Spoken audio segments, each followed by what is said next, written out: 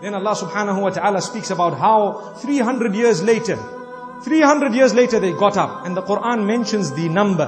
وَلَبِثُوا فِي كَهْفِهِمْ ثَلَاثَمِئَةٍ سِنِينَ وَازْدَادُوا تِسْعًا The Quran says they stayed in the cave, they slept in the cave for 300 years and they were increased by nine. Now one might ask, what is this increase of nine?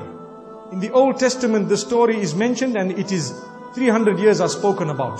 And in the Quran, the Quran says 300 and an excess of 9. If you take a look at the difference between the solar years and the lunar years, in 300 solar years, you get exactly 309 lunar years. So that is the increase. Someone might read the Bible and find that, you know what, it says here 300 years and the Quran says 309 years.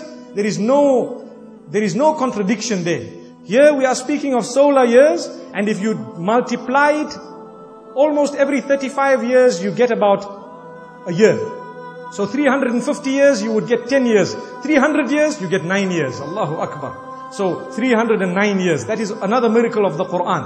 Allah subhanahu wa ta'ala grant us an understanding. Another miracle of the Quran. Let me explain you yet another one.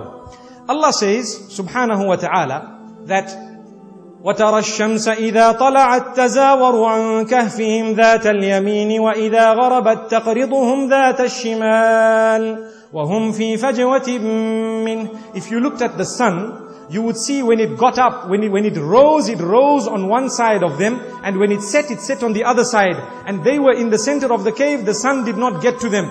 Do you know that when they got up so many years later, they had not aged at all because the cave was cool and the sunlight did not even touch them. It is now proven that aging is caused by the sun. Allahu Akbar. Those who work in, indoors, they will look much younger even when they are 40, 50. And those who work in the sun, they will look very old even when they are 25, 30. It's a fact. So the Quran is telling us how these people were protected because they stayed away from the sunlight. Now I'm not saying we must all walk around with umbrellas, but alhamdulillah, may Allah subhanahu wa ta'ala grant us the lesson from this, that really, this is a gift of Allah subhanahu wa ta'ala.